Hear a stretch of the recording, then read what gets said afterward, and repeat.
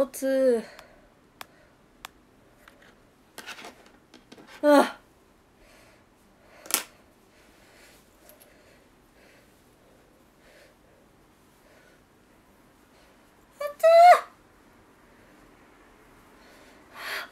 寒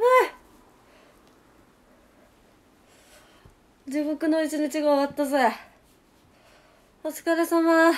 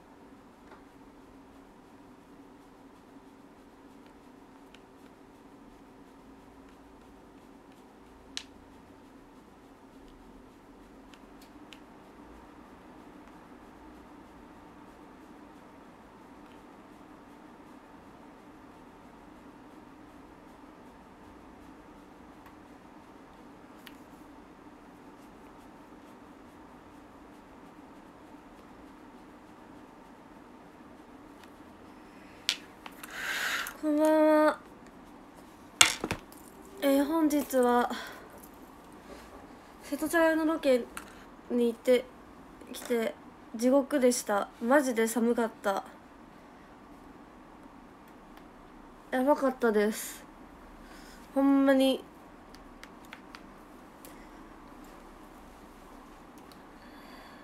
海辺海に海に行ったりやばかったほんまにもう一生外に出ません。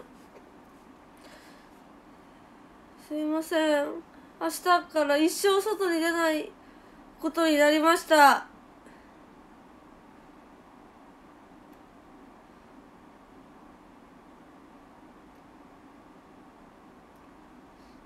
タカ頑張ったありがとう頑張ったって言ってすいませんすいません頑張ったありがとうあー頑張ったね怖い山田怖いぞ頑張ったありがとうごめんもう私あの外に一生出ない。おいたら頑張った前が超もう本当に一生一生は言い過ぎた。夏。いや桜が咲くまで外に出ないことに決めた。あーちょばばあちゃんありがとう。本当に。もうもう辛すぎて感情がなくて。あのロケであの辰原リオンさんっていう r 1去年のチャンピオンの方とねココアと私だったんですけどあの一回クイズ「これはどういう意味でしょう?」っていうクイズがあってあの一人ずつ答えていくんですけど「じゃあ福ちゃん」って言われて答えて誰も返事誰も何も言わん「ココア」って言って答えて誰も何も言わん「じゃあリオンさん」って言って答えて誰も何も返せないっていう時間が起きました。あの寒すぎて口の筋肉がおかしくなって誰も喋らないクイズ番組という時間が起きたほど恐ろしい海辺でした。皆さん本当に私はずっと辛すぎてもう。辛すぎて。眠すぎて。モバメであのすごいブスな写真を送りました。すいません。気が動転していました。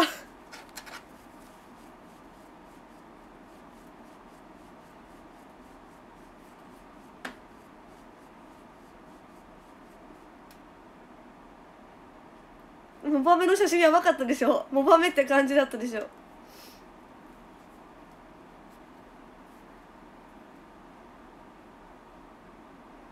今日のモバメのおはよねちょっとおはようメールの写真めちゃめちゃ可愛いのにさ。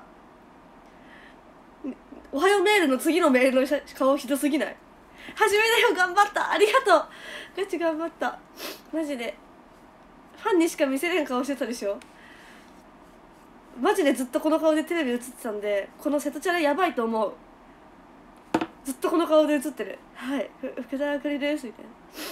今今頑張った。ありがとう。優しいみんな。みんなありがとう。優しいね。うー。ありがとう。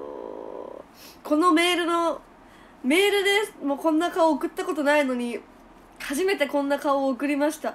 それぐらいやばかったってことが 伝わったんじゃないでしょうか。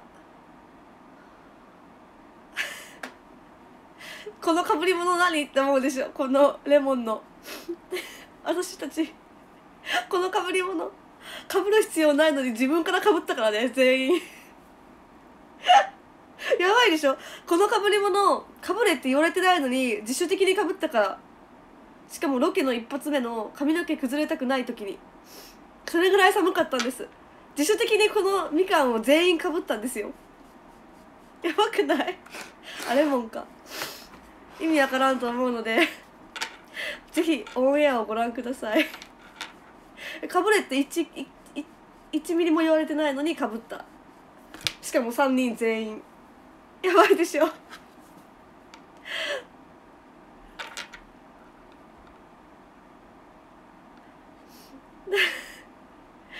めっちゃおもろいよね。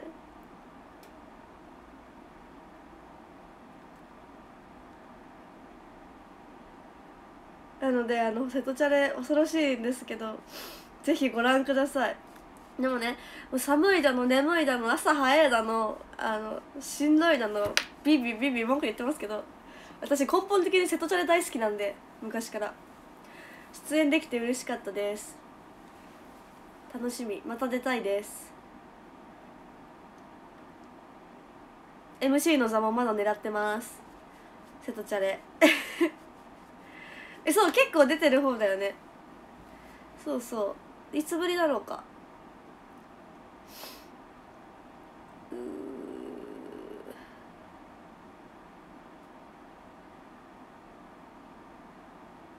あ遠藤さんの時ぶりか。そうだそうだ。いや生きて帰ってきてよかった。ほんまに頑張った。だってさ私って基本寒い寒いってそんな寒くもないのに寒い寒い寒いって言ってみんなに「大丈夫？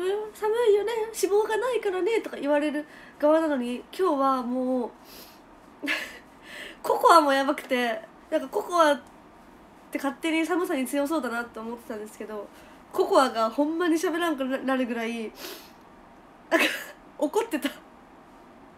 ほんまにほんまに寒いみたいな。ココアが怒ってました。今日は感情がないとか言って。なんかあもうこれはこれはあかんわ。これは今日はもう今日はもう帰るみたいな。言ってて。おもろかった。そう。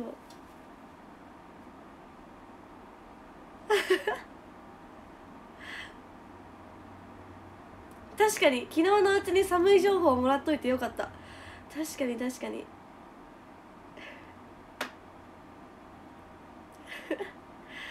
そう面白かったな。いや切れたっていうか「ほんまに寒い。もう寒い」って言っとって。そう。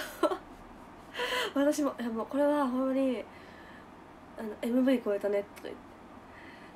でもねスタッフさんがねそのマネージャーさんもメイクさんもメイクさんがもう女の子だからさかわいそうでさもう私はずっと自分のダウンを上げた、はい、メイクさんとかもカメラさんディレクターさんねあともうスタッフさん芸人さんのマネージャーさんとかもいっぱい10人ぐらいスタッフさんがいるんですけども皆さんね番組のためにさ一日寒いロケに一緒にいてくれて本当に元気が出ましたよ。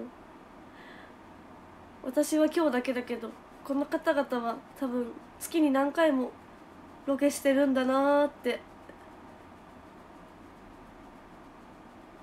思うと私は本当に尊敬しましたテレビマンの方々を。ありがたいですね。瀬戸チャレはあのー、東京でも見れたりするから。結構意外と見てるよって人が多いので嬉しい。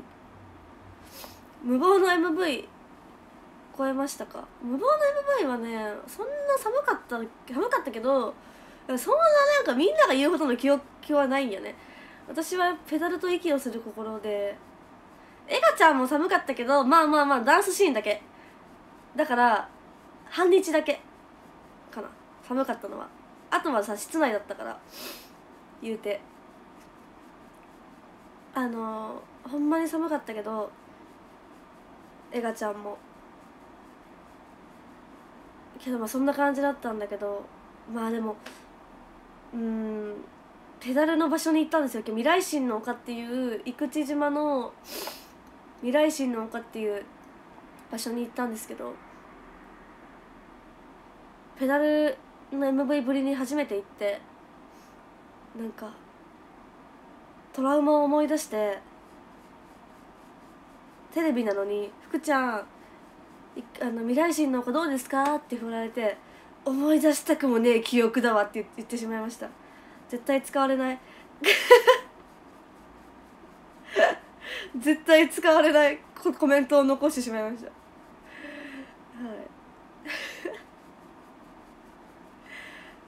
ペダル自体はめちゃめちゃ好きなんだけど。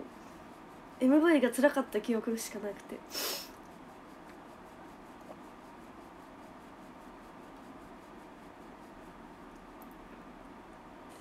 むしろ使われるかな。いやめっちゃ綺麗だった。でもあの春に行きたい。春に行きたい。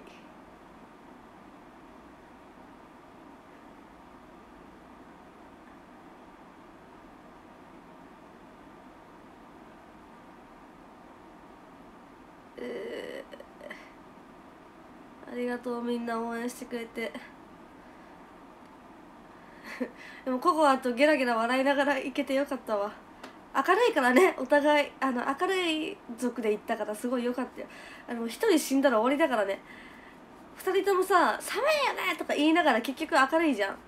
だから多分その場の空気は悪くならずになんか結局最後まで「マジで寒かったよね。ほんまにもうブラック」とか言いながら笑いながら帰ってこれたからよかったんだけど。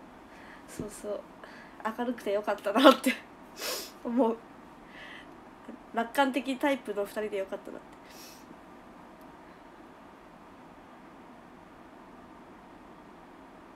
めっちゃ雪降りよったが。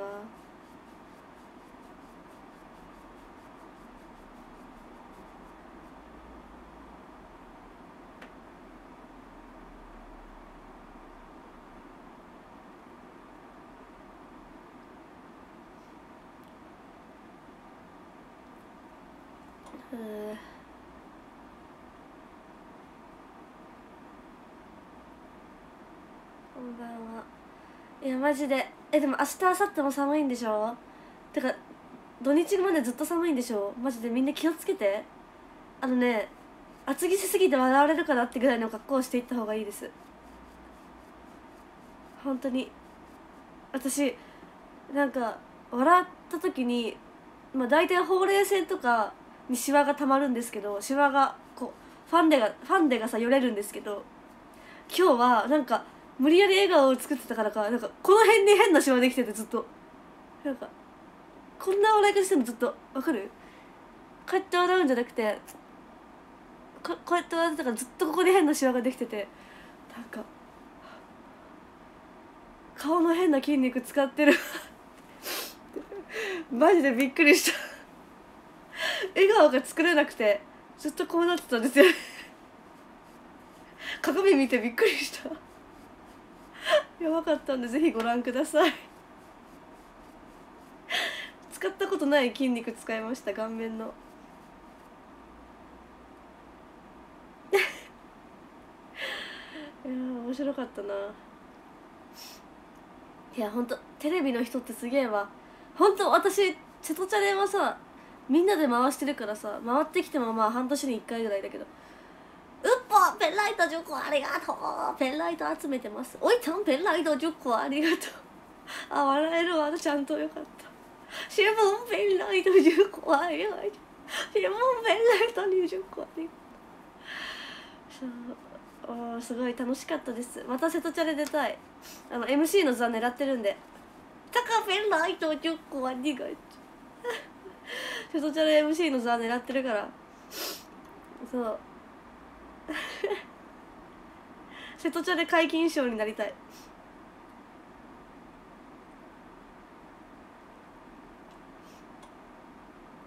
いいよ5時起きでも毎回。天来ありがとう。瀬戸チャレ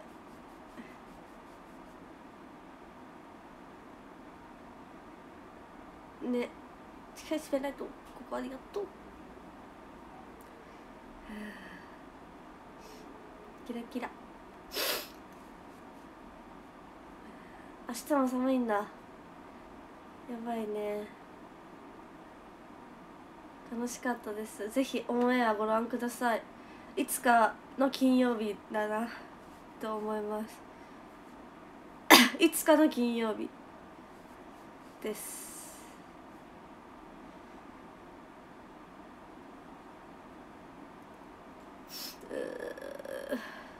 つか分からん。け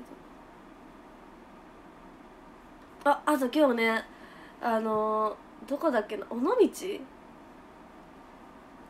の商店街でなん。か小学生に喋りかけられてなん。か「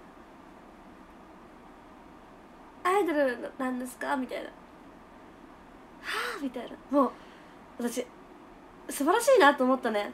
なんか多分ツイッターとかインスタとかやってないあの子。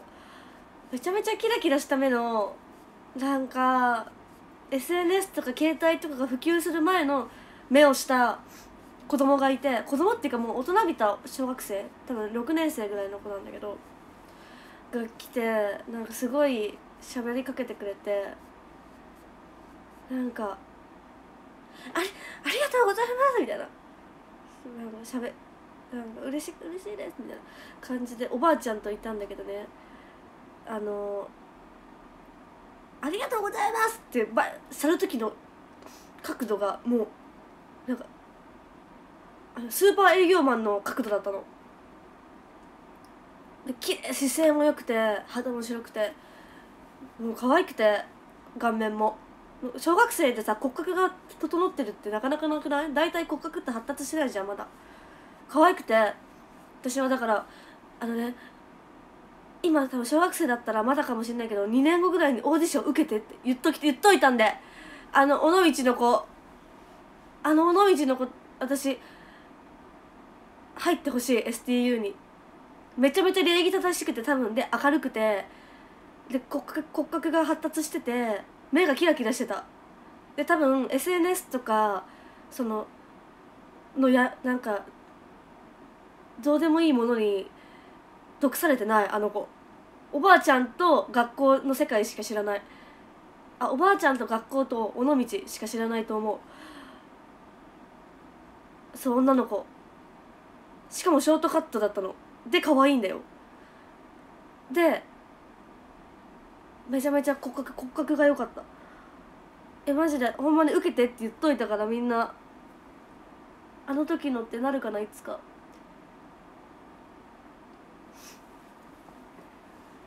めっちゃ将来有望なこと。ほんまに STU のオーディション受けてねって言った。マジで可愛かった。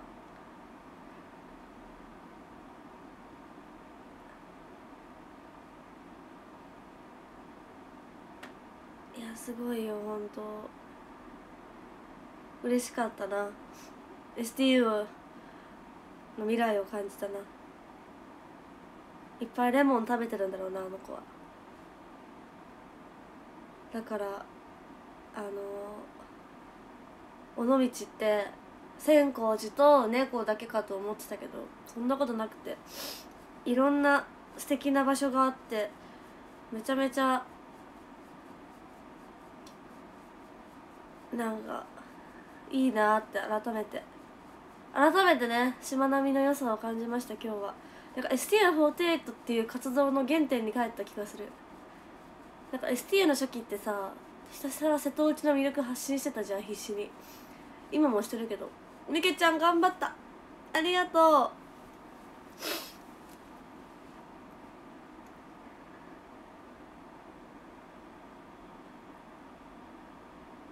そう。なんかその時の初期を思い出したよねなんか。すごく STU48 らしい活動が今日はできました。瀬戸チャレ大好き。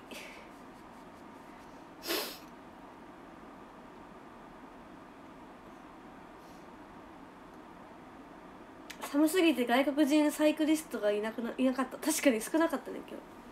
こんばんは。うー寒い。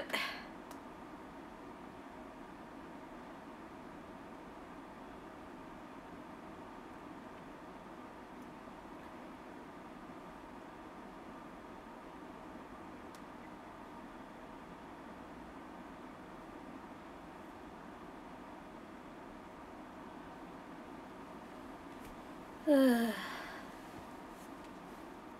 だって今日は一日通して瀬戸内企画でなんか「いいね」企画？初めてだったからちょっとよくわからなかったけど。なんか「みけちゃんペンライト10個ありがとう」お疲れ様でした。ありがとう。頑張った。めっちゃ。なんか10日分ぐらい働いた。寒すぎて今日ずっと肩上がってたからめっちゃ肩凝った気がする。いいね企画でね9時までに7ツイートで2万5千いいね。だったんですけど。まあ結果はどうだったでしょうか。ご協力ありがとうございました。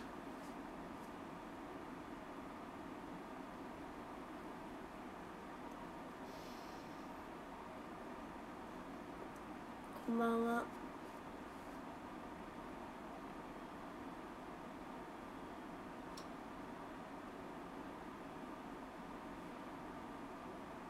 チャットチャレきっかけで福ちゃんチェックし始めた。えー、嬉しい。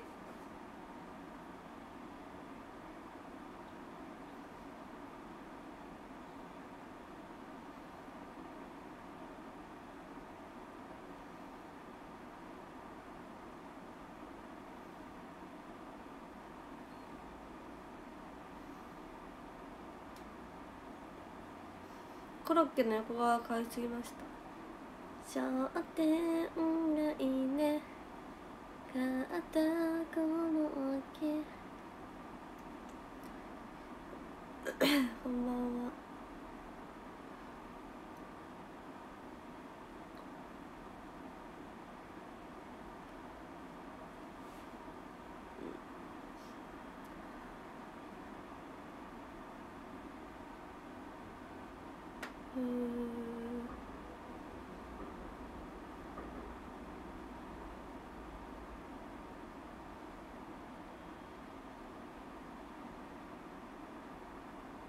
生口島でコロッケ。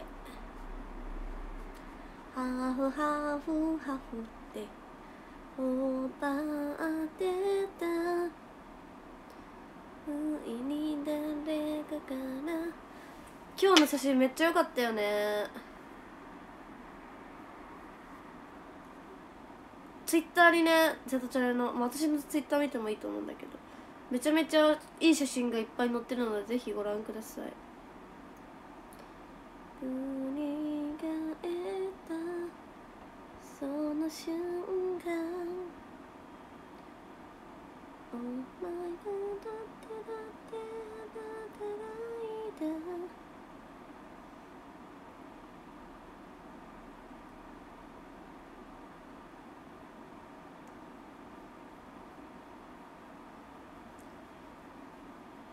やりによってこんな状況ね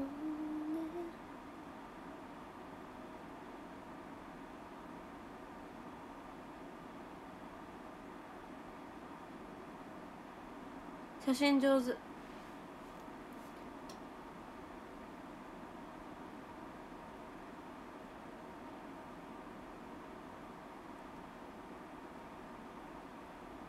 あ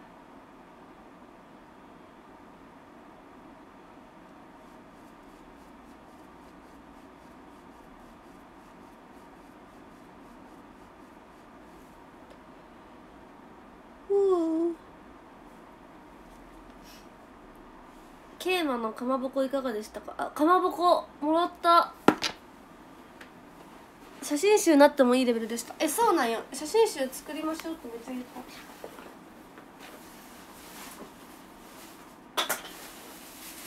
た。あロールキャベツのコンビニのやつもらったんだ。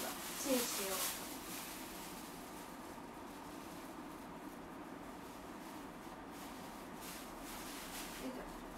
うやばいやばいお皿めっちゃそう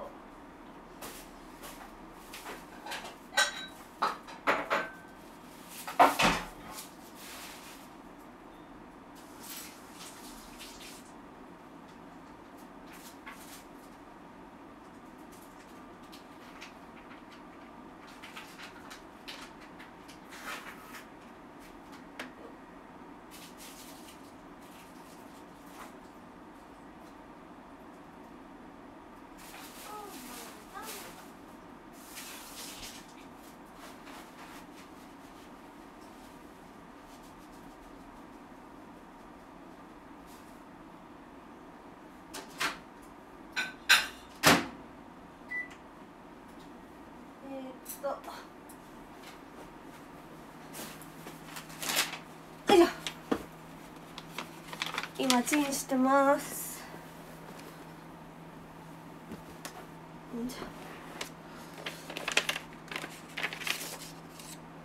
なんかね尾道のねかまぼこ屋さんケーマで。なんかギフトもらいました。かまぼこギフト。ショールーム以外から初めてギフトもらった。セレクトギフト。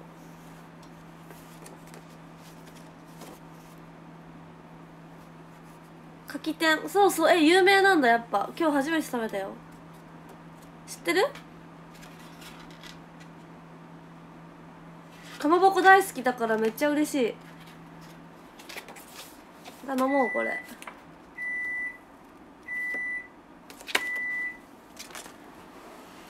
かまぼこ美味しいよね。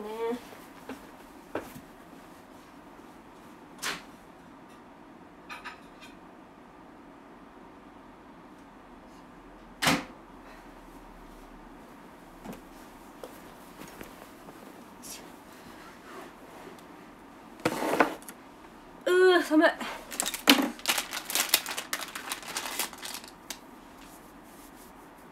風量上げよう。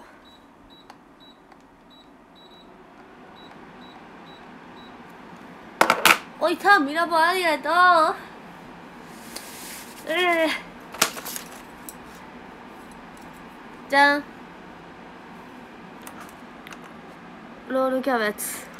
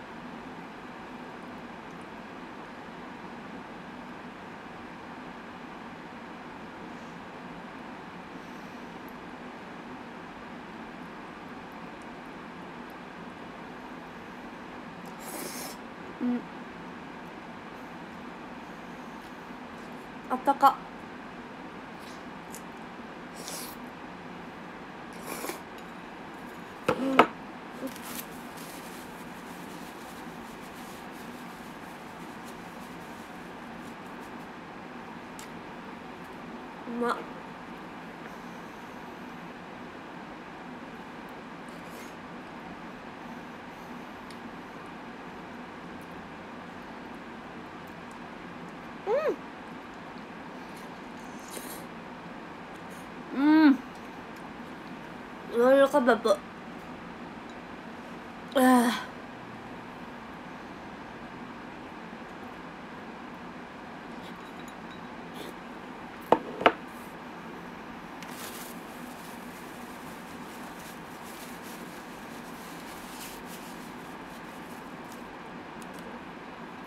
温かいね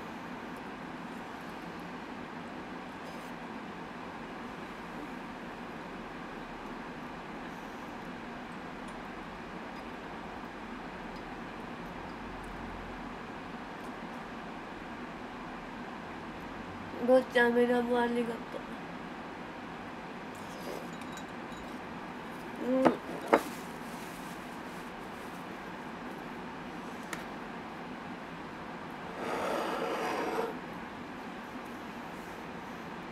疲れ様もう終わっちゃった。柿天こ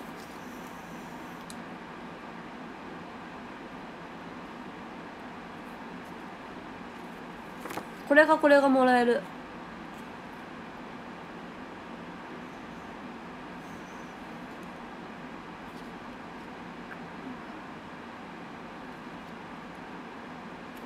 これがいいな。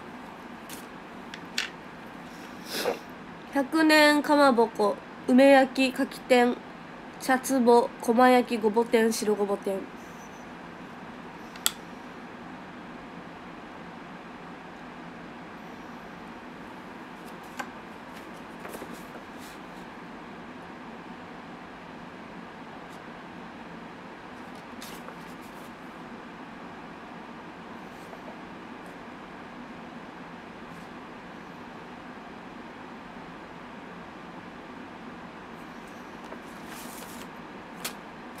食べてたのは何店？何店でもない。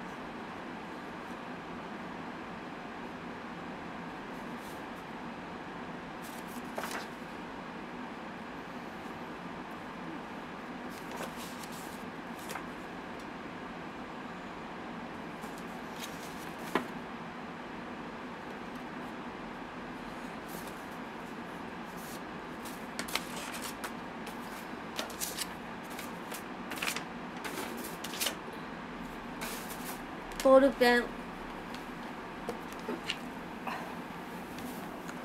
暖房の勢いそう。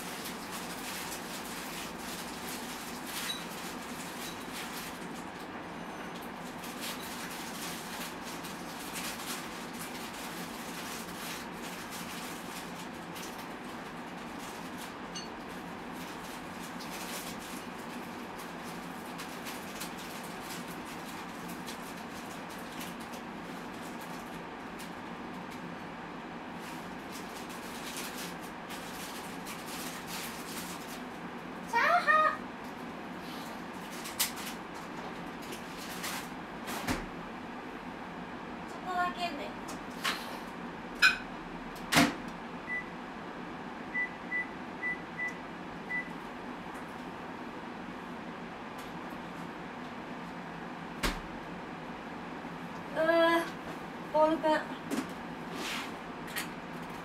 寒い。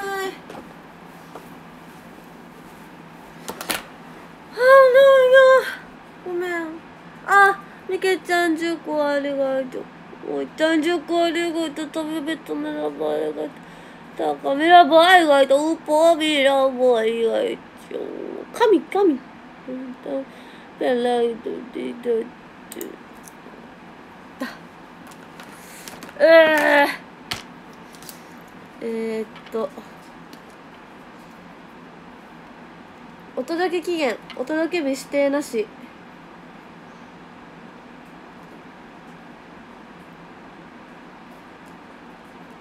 福田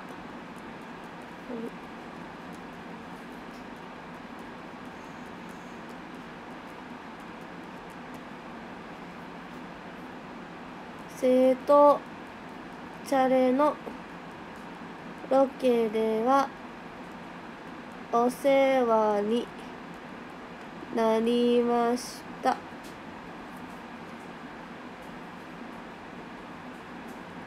おいしいかまぼこ。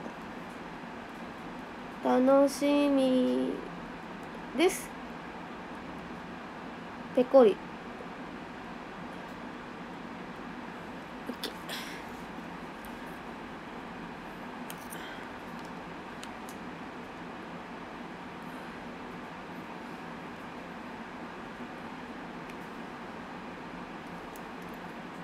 住所。かまぼこって書けないよ。カタカナで書いた。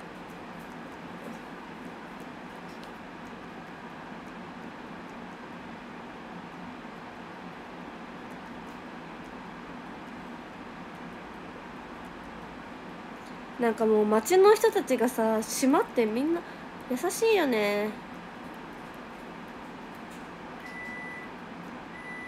言われてるちょっと待って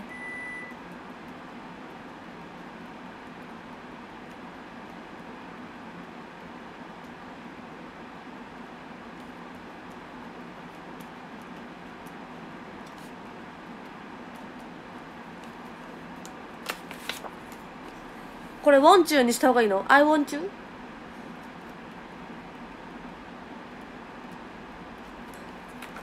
これ書いちゃったけどあれだけど「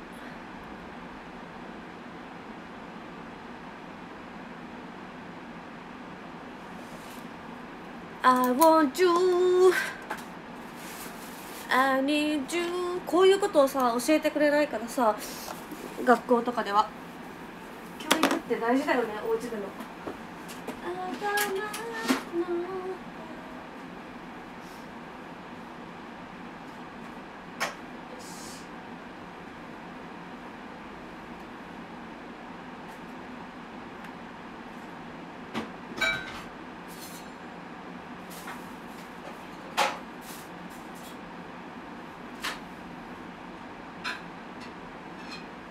あちょちょちょちょちょよいしょ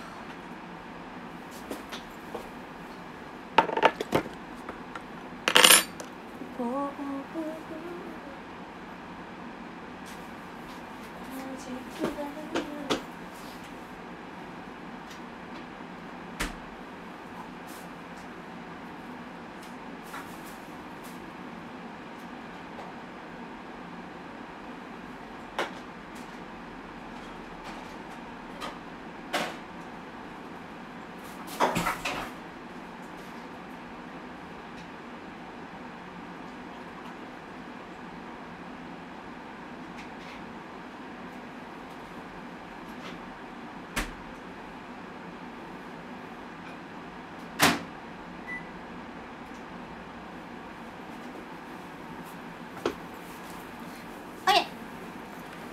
ードアに貼ってきた。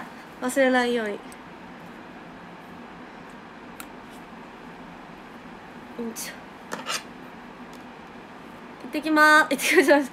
いただきます。もう頭回ってない。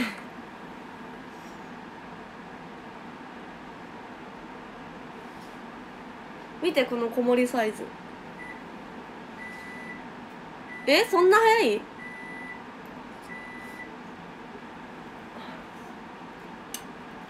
コアを温め直してるんだ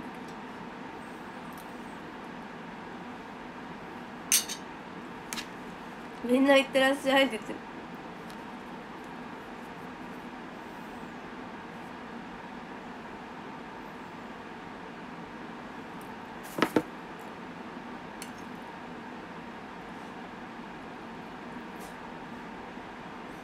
ああここギフトあるんだかわいい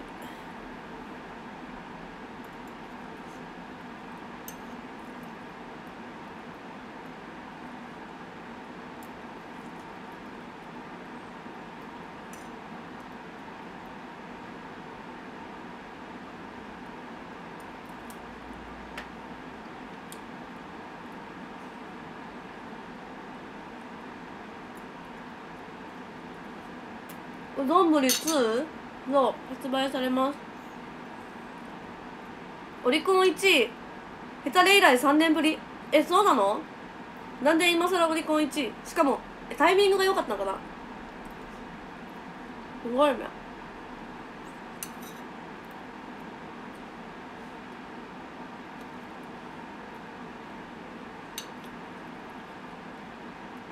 ゆみりん喜んでるかな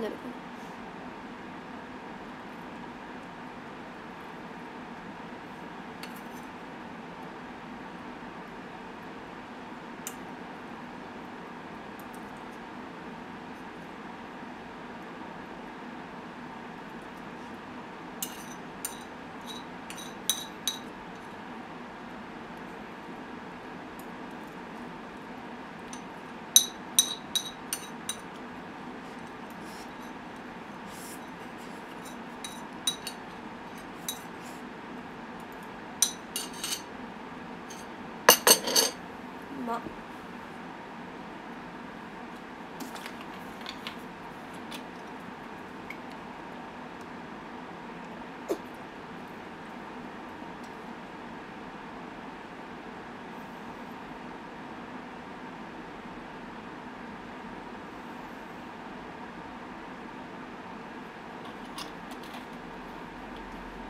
うん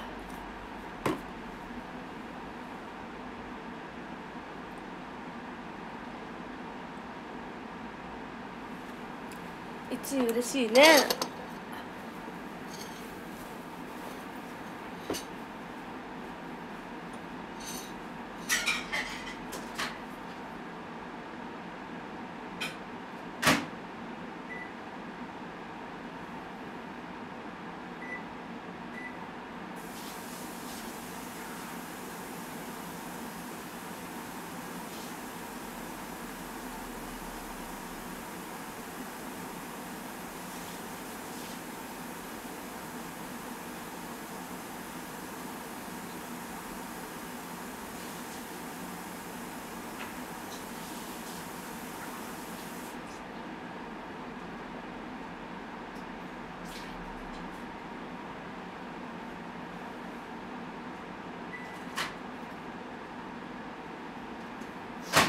10秒だけやか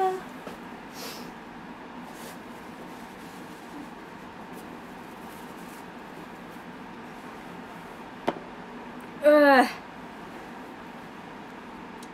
ホットアココです。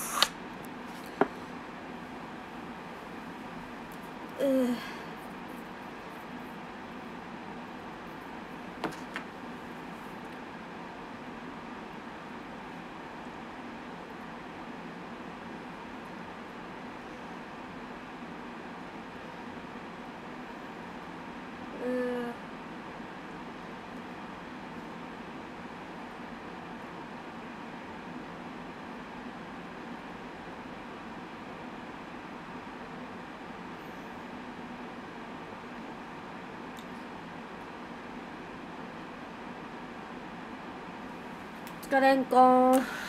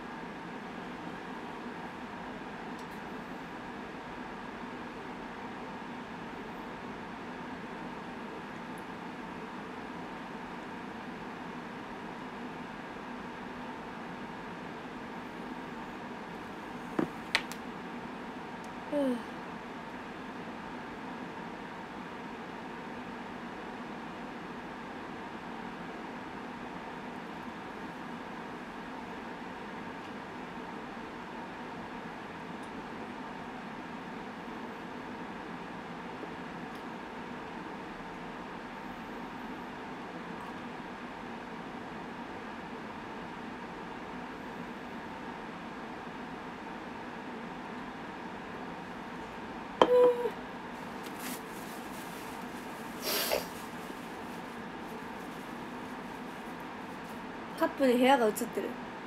本当だ。でも今部屋綺麗だから。う。ねえ加湿器欲しい。え？やばい。兄さん兄さん。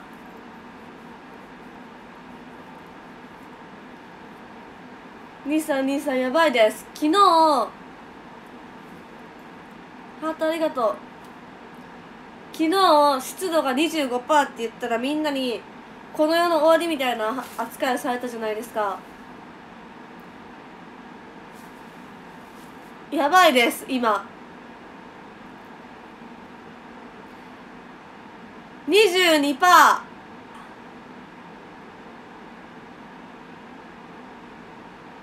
終わってる。終わってるわ。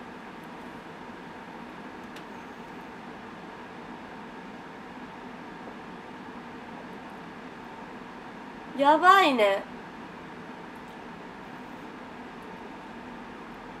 ひどい言われよう。地球じゃない。砂漠。ラクダが歩いてる。干物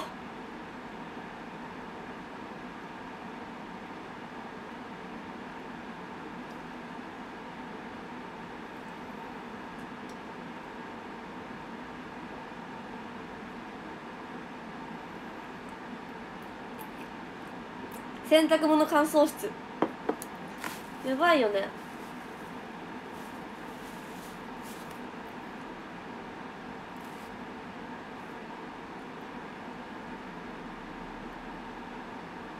しかもさ私日本で初めてセントラルヒーリングを叶えようとしてる女だからあのセントラルヒーリングってあのアメリカみたいにさ部屋の温度が全部部屋つけっぱで一定のやつ。あれを実現しようとしてるからエアコンで。全部のドア開けっぱなしなんですよ。だからこの部屋だけ暖房ガンガンとかじゃなくて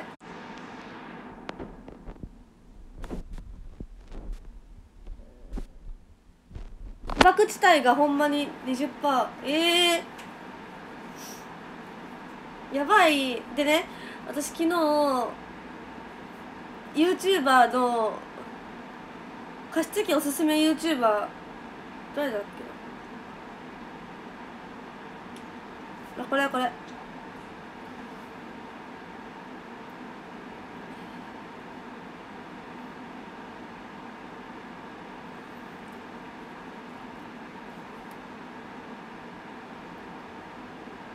調べて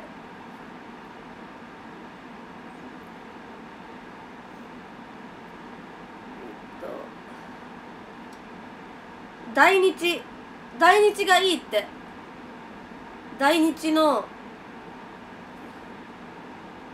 加湿器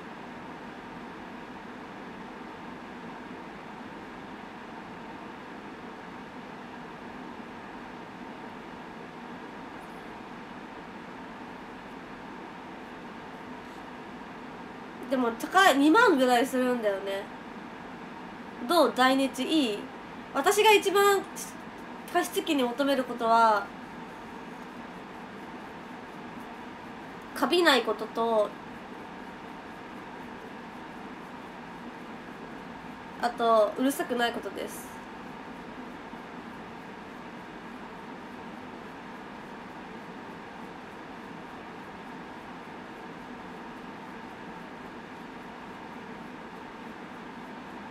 1万6000円。おありがとう。で加湿器の価格が分からん。1万円ぐらいだったら安い。本当に分かんない。感じペンライト10個。ありがとう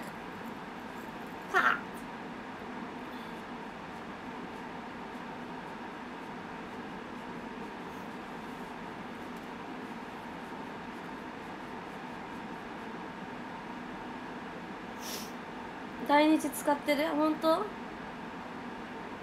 今アマゾンで見たらね2万ぐらいだね。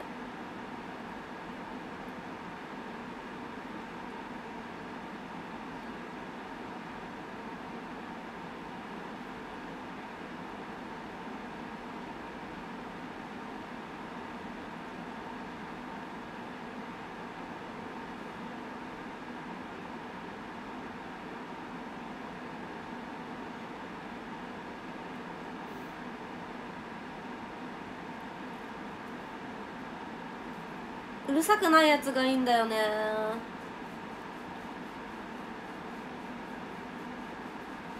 いや買うなら安いそのさアマゾンで検索したら上の方に出てくるさ中華製の安い5000円とかとか3000円とか5000円とかの中華製の安い家電は買いたくないんですよ。だったら倍の値段出してこの有名なメーカーの古いモデルとかを買うタイプなんですよ私は。安物買いの銭失いになりがちだからさ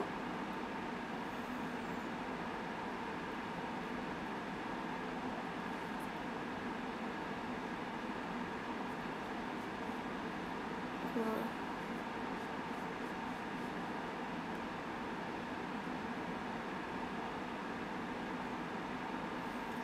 DC モーターを採用している機器は静か。おおあと電気代は私的にどうでもいいかな別に電気代が月何円かかろうと気づかないから。貸しすぎのせいだとか気づいてない。引き落としだから電気代の値段見てないからバレないからどっちでもいい。ただ静かでカビなければいいんだけど。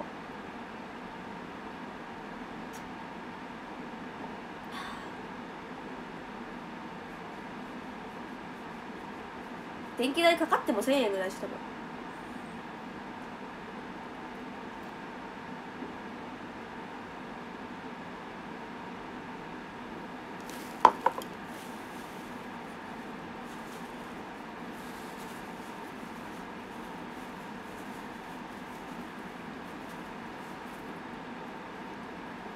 ねえむずっ。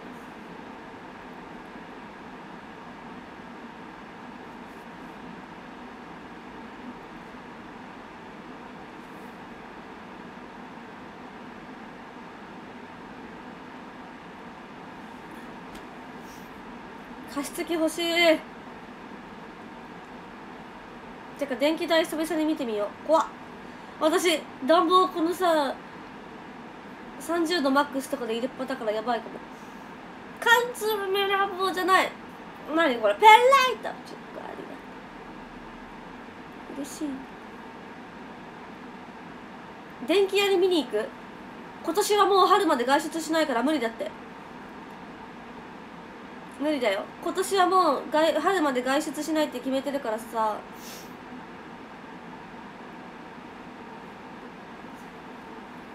30度？見て。30度。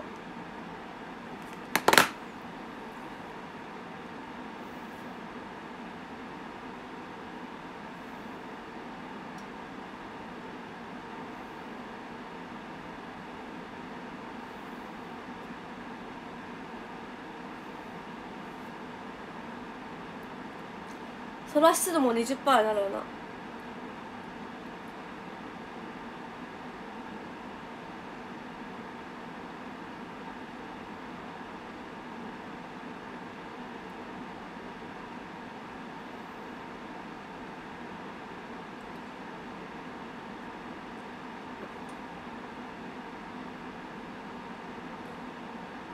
マジであのやばいぐらい寒がりなんですよ。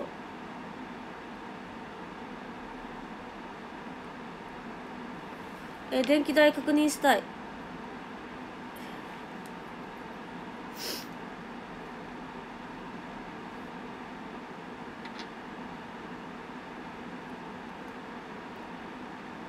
これだ。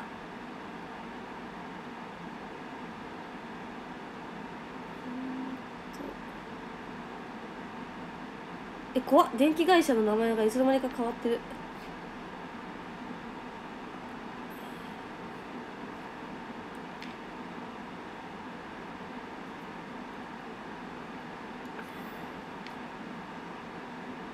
ページはこちら。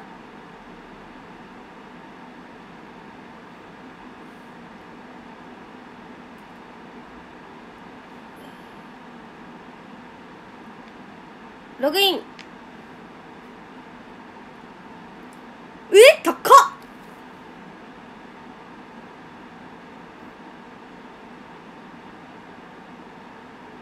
やばいえ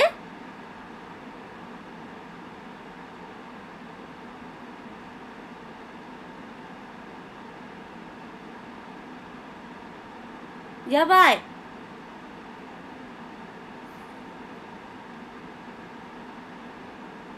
え？無理や。加湿器で求める条件。電気代安いに今変わりました。嘘。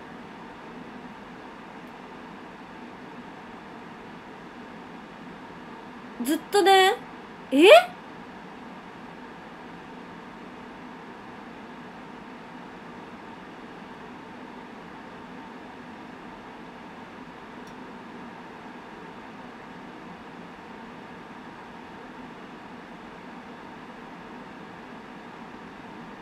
私。高っ。え？去年の1月7000円。去年の2月2万円。去年の3月1万円。去年の4月1万円。去年の5月4000円。去年の6月3000円。去年の7月1000 1400円安っ。去年の8月1500円。家にいなかったのかな？ライブばかり去年の9月3000円。去年の10月5000円。去年の11月4000円。去年の12月4000円。1月7000円。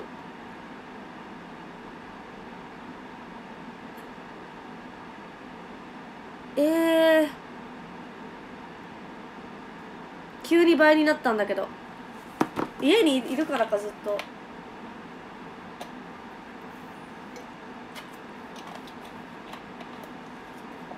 開け全部開けっぱで30度ガンガンにしてるからかな。夏安すぎでしょ。私夏の電気代。1500円とかだよ。遠征最高だね。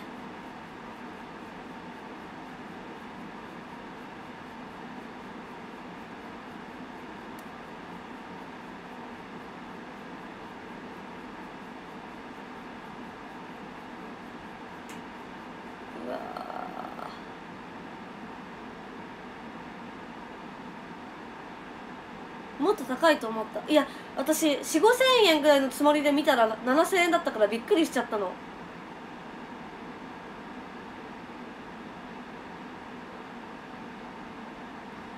めっちゃびっくりした。すごい声出たもんな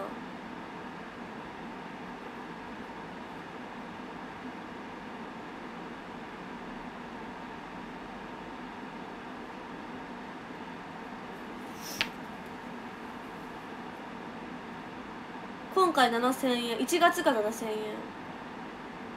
ってことは1月に払うのが7000円。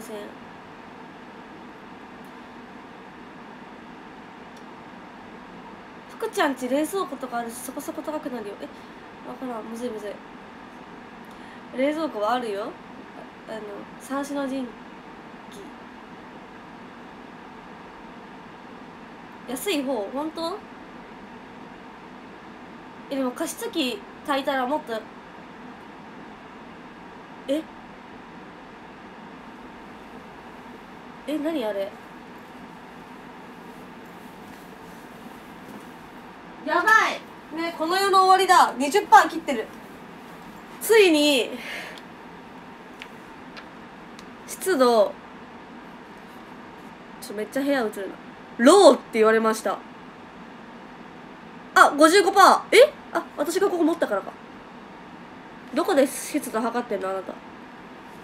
ローって書いてた今。びっくりした。大日の加湿器。あ本当？は大日買おうかなと思ってた。あ22度。あ55じゃないこれ22だ。22度。22%パー。20%切ったらローローになるんですよ。だからこの子にはもう判定できないですよ。20%以下は。初めてロー見たよ私も。あ21%になった。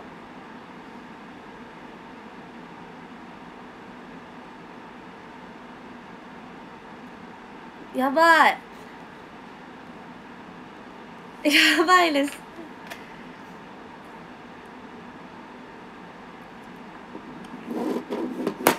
福田の一夜干し作る。初めて見たロー。湿気が足りないの？そうなの。大日高いやっぱ高いんだ。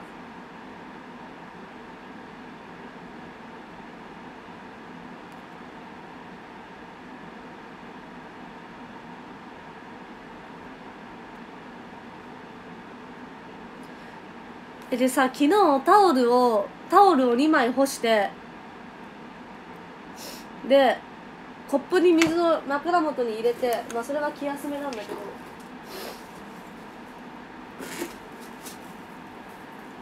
寝たの。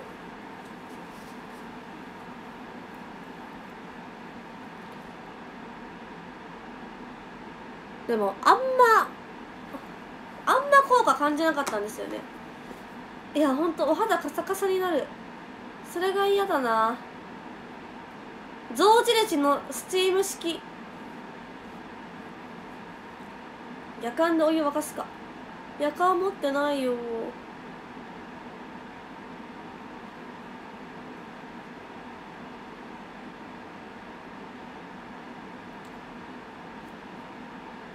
えむずい。加湿器のおすすめ。あのあこれ配信が終わった後に加湿器のおすすめあったらよかったらリプに貼っといてくださいツイッターの。ビジホでは浴室に浅くお湯を張っておく。あいいね。でもお風呂が遠いんだよちょっと。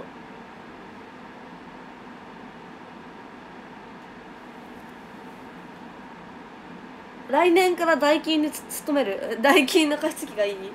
もうあれじゃんひいき入っちゃってるじゃん自社の。ケトルある。え夜間にお湯沸かす夜間のお湯沸かすとかさ鍋のお湯沸かすとかって火つけっぱってこと一晩ガス代やばくない？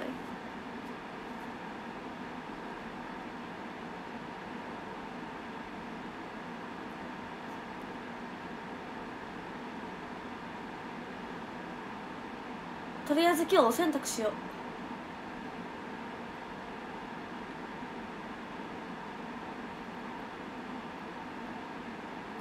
喉が弱いので加湿器がないと寝るのきついです。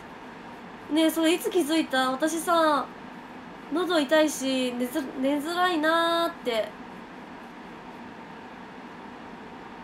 思ってたのずっと。眠れなくて。湿度のせいだったんだ。気づくのが遅かった。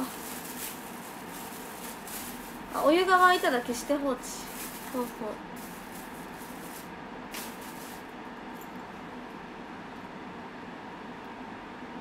どうしよう。とりあえず今日一回お洗濯してタオルとか余分に洗って干して。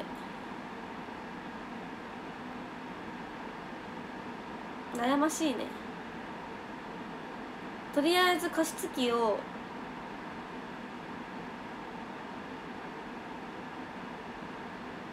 ポチって明日中に。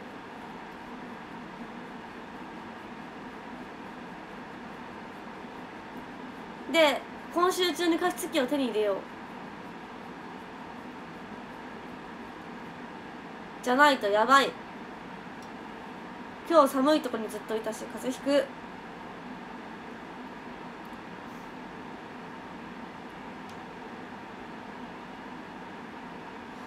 えなんか超音波式はあかんみたいな。カビが舞うみたいな。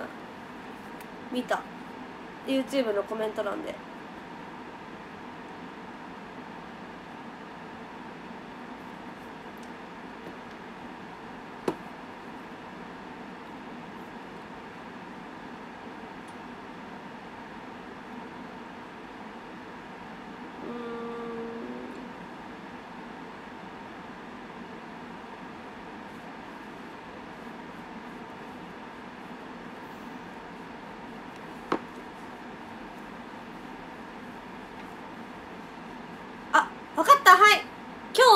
呂ためるんよ今から。寒かったから。でお風呂ためるけんそれをいつもやったらお風呂上がる時に抜くんだけど抜かずに加湿器の代わりに一晩息を出し続けます。え私のコメント欄ってやばい人はあんまいないんだけどなんか淘汰さ淘汰されていくからやばい人のことを完全にスルーしていくスタイルだから。やばい人がこの7年間で淘汰されていったんだけどトップクラスかも。え一晩加湿器の代わりに「はあはあ」ってしてくれるってこと？隣で。すごいかもしんない。でもあなたはやばい人じゃないって私知ってるから今いじったけどそれすごいその発想出てくるのまあまあすごいかも。今びっくりしちゃった。面白いね。ちょっと淘汰されません。大丈夫です。いてください。ずずっと。ちょっとびっくりしちゃっただけ。ごめんね。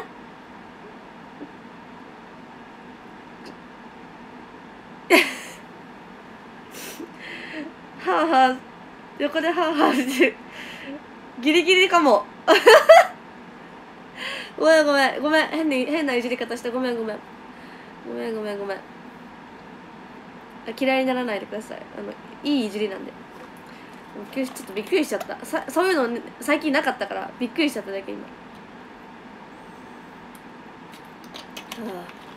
とりあえず今日お風呂入ってあのーお風呂入って抜くんだけどあのーあ抜かない抜かずにもう全部やって全部開けとく。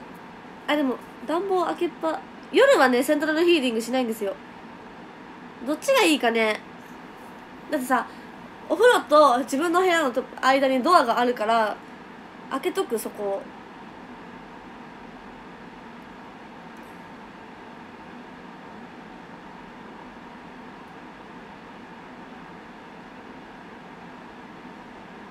あお風呂の換気扇を一回消した方がいい。あそうなんだ。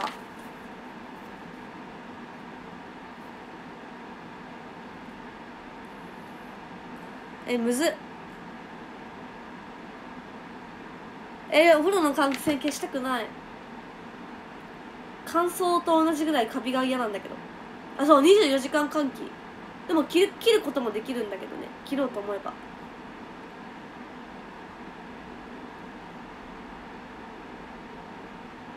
うーん一回それでもまあ24時間換気はついてるけど一回それやってみよう。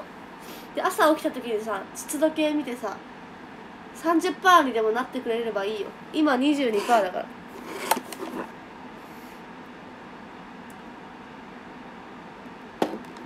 そう。一回やってみる今日だけ。であと洗濯も干す。あでも一気に一気に2個のことをやったらさ対象実験にならないよね。どうしよう。まあいっか。もうこんな時間。なんか今日短かったけどすごい濃かった気がする。ありがとうみんな。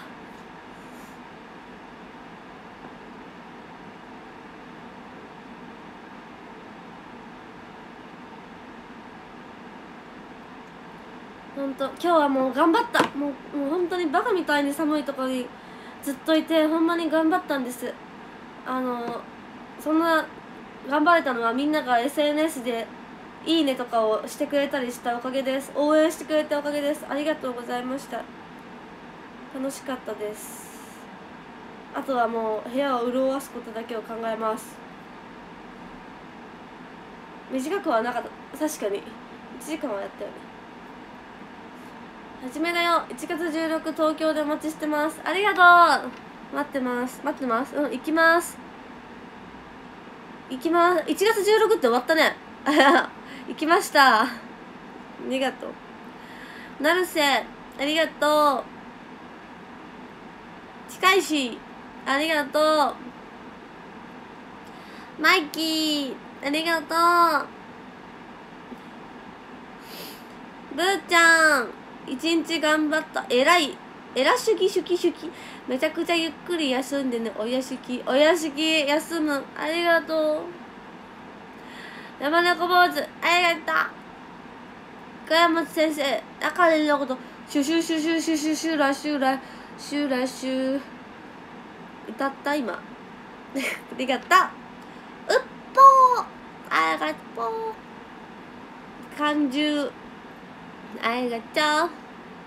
たか寒い中ロケお疲れ様本当によく頑張りました。ゆっくり遊んでください。遊びますもう言って明日もああ8時前に起きるんだから頑張ります。みけちゃん見たことある風景に福ちゃんが寒い中お疲れ様です。お疲れ様です。頑張りました。楽しかったです。埼玉のいたんありがとう。1位はシェプン。ありがとう。はい。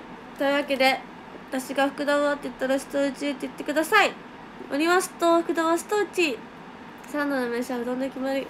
早くやすすのくちゃんこと福田あかりでした。もうみんなもう寒いから人生。気をつけてお互い頑張って生きていきましょう。あと部屋は潤わしましょう。髪の毛外しちゃおうもう。あのマジで頑張ろうお互い。お互い頑張ろう。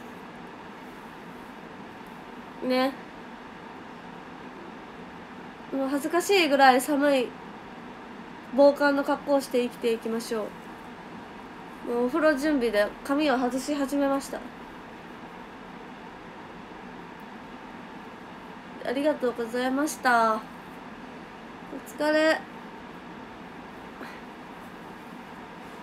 お疲れ。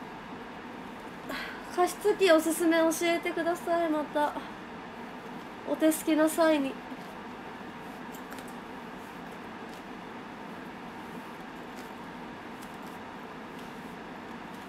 疲れんこおやすみみんゼミです。頑張った。ペンライトとかもありがとね。ペンライト集めありがとうございます。目指せ50万ポイント。いいねもありがとうございました。ツイッターとインスタストーリー更新したので見てください。あーすっきり髪の毛外して。ふう。バイバイ。あーすっきり。バイバイ。ありがとう。またね